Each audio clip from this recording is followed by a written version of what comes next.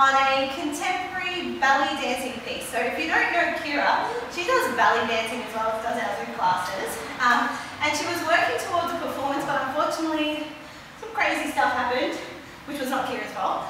Um, and so she wasn't able to perform at the belly dancing gig, so I told her she should come and perform mm-hmm. a piece for us today. So Kira is going to be dancing for you a contemporary belly dancing number for you. So please.